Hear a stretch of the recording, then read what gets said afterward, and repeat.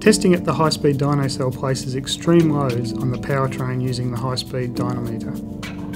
Once this test and others like it are completed, which is the equivalent of driving over half a million kilometres, the vehicles are brought here to the Powertrain Development Workshop where post durability inspections are carried out.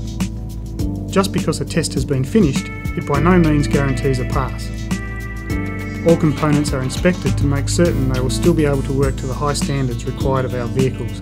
Engine oil, transmission and differential temperatures are all monitored and evaluated. Suspension components, fan belts and alternators are all removed and analysed. Drive shafts are measured and the entire engine is removed and disassembled to ensure there is no unexpected wear. This meticulous testing procedure takes over two months and involves over 30 specialist powertrain engineers. For the owner, it means class leading capabilities for driving, towing, and off road. In short, this means the all new BT50 will take anything and everything you can possibly throw at it, and then some.